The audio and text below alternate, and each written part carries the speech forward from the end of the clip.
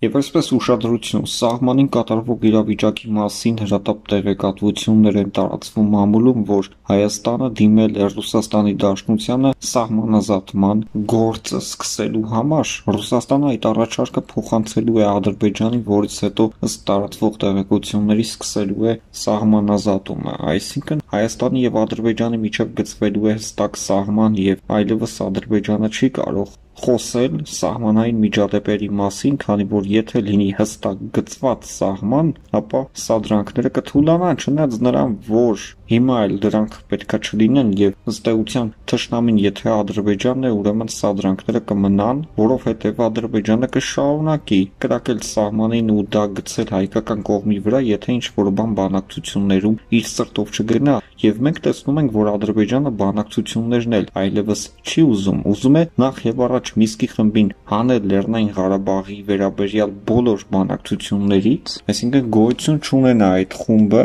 եւ ընդհանրապես նրանք չխոսեն են Լեռնային Ղարաբաղի մասին։ Սա հայտարարեց Ադրբեջանի նախագահը, որին հաջորդեց նաև մի շարք այլ հիվանդակին հայտարարություններ ընդդեմ Միսկի խմբի համանախագահող երկրների։ Նաև Ռուսաստանի Դաշնության դեմ խոսեց Ալիևը ռուս խաղաղապահներին մատնանշելով, հետո Ամերիկայի մասին խոսեց, ասելով, որ Ամերիկան ունի հայամետ քաղաքականություն, հետո Եվրոպայի մասին խոսեց, կրկին Եվրոպային մեղադրելով հայամետ քաղաքականություն վարելու մեջ։ Նախ եւ առաջ այստեղ հայամետ ադրբեջանամետ չկա, այստեղ կա տարբերություն հայերի եւ ադրբեջանցիների միջև եւ ըստ այս դեպքի տարբերությունը Ալիևի եւ Փաշինյանի միջև է։ Ալիևին ամբողջ աշխարհը այս պայդրությամբ ընկալում է որպես terrorist եւ հոգեկան խնդիրներ ունեցող ինչ որ մեկը, որովհետեւ չի կարող նորմալ մարդը այսքանից հետո ինչ որ տարածքային պահանջներ ներկայացնի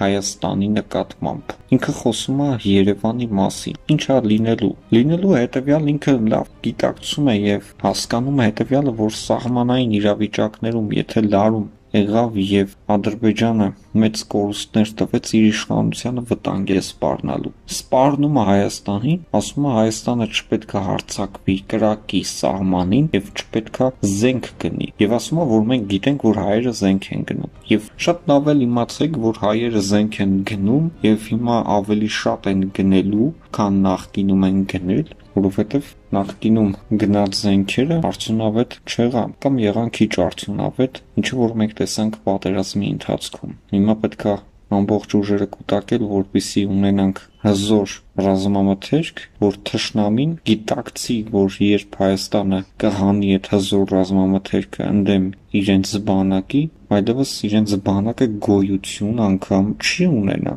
Ադրբեջանը վախեր ունի, վախեր ունի, որ Հայաստանը կարող է ձեռք բերել կործանարար զենքեր։ Եվ այդ ամեն ինչը իրականում լինելու է։ Եվ սա է միակ երաշխիքը, որ սահմանին կրակոցներ չեն լինի։ Այլ ուրիշ ոչինչ չկա։ Ադրբեջանը կշարունակի սադրիչ հայտարարություններ անել, սահմանին կրակել, հարձակվել, մի խոսքով անել հնարավորինս ամեն ինչ, որպիսի մի քանի մետր հող ավել գրավի, բայց երբ իմանա, որ ամեն հարձակումից հետո իրենք հետ են շպրտվելու տասնյակ զոհեր տալով եւ տեխնիկայի ոչնչացում ունենալով, հարձակումներ կքչանան եւ հետո ընդհանրապես այլևս չեն լինի ու կդառնա սովորություն, որ հարցակում չպետք է անեն։ Հիմա հակառակ սովորությունն է, հիմա սովորություն կա հարցակման։ Վերջին հարցակման հետևանքով տասնյակ ադրբեջանցիներ են սատկել, ինչը որ Ալիևի համար ընդհանրապես նշանակություն չուներ փաստորեն եւ այսպես ուշադրություն։ Ալիևը խոսել է նաեւ Ամերիկայի եւ Եվրոպայի մասին եւ նշել է, որ Ամերիկան ունի հայամետ դիրքորոշում եւ ինքը դեմ է գնալու Միսկի խմբի համանախագահող երկրներին, եթե նրանք ինչ որ բաներ որոշեն հայ-ադրբեջանական բանակցությունների վերաբերյալ։ Նախ Ալիևը ապացուցում է հետևյալը, որ իրենք մերժված են Ամերիկայի եւ Եվրոպայի կողմից, եւ հետո նա խոսել է ռուս խաղաղապահների մասին, ովքեր գտնվում են Լեռնային Ղարաբաղում նշել է, որ ռուս խաղաղապահները իրեն նյարդայնացնում են։ Նախ եւ առաջ Ալիևի այս համարձակությունը շատ տպավորիչ է, քանի որ նա խոսում է թե Ամերիկայի մասին, թե Ռուսաստանի Դաշնության մասին եւ խոսում է այնպես, որ իր դիրքորոշումը պետք է ինքը անպայման հայտնի եւ թքած ունի Ամերիկայի եւ Ռուսաստանի վրա, եթե նրանք դեմ են Ադրբեջանի որևէ քայլի։ Իրականում այս տպավորությունը, եթե մեկ մարդ, ով որ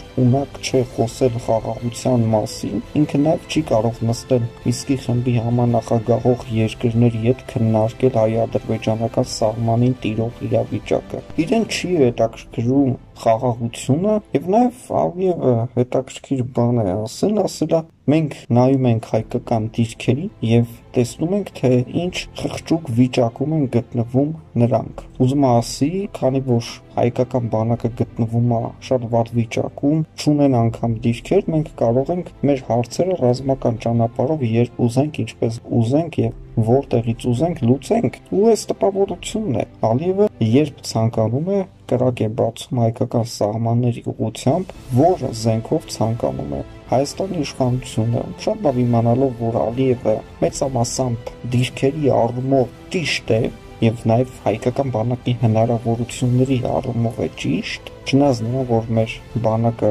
միշտ զիջել է ադրբեջանական բանակի զինվածությանը, բայց որոշ տեղերում նաեւ առավելություններ են ունեցել եւ մենք այսօր կանք, որովհետեւ այդ առավելությունները միշտ գործել են ընդդեմ ադրբեջանցների։ Եվ Ալիևը այդ առավելությունների մասին ինքը շատ լավ տեղյակ է, դրա համար շատ բաներ չի ուզում ասել, որովհետեւ չի կարող ուղղակի ասել եւ դրա տակից դուրս գալ։ Ինչը օրինակ կարող է լինել հետևյալը։ Հայկական բանակը միակային բանակն է, որը կարողացել է միայնակ կռվել 100 միլիոնանոց թուրքական ազգի բանակի դեմ, որոնց թիվը մի քանի միլիոն էր եւ Լեռնային Ղարաբաղում հայկական դիրքերի վրա հարձակվողները եղել են մի քանի միլիոնով եւ հարձակվել են տասնյակ հազարներով ընդամենը մեկ դիրքի ուղղությամբ եւ հաղթանակը արդեն երաշխավորված էր, որովհետեւ անգամ Հայաստանը եթե որոշեր եւ ունենար դիպուկ կրակ եւ ոչնչացներ բոլորին, միևնույն է հայկական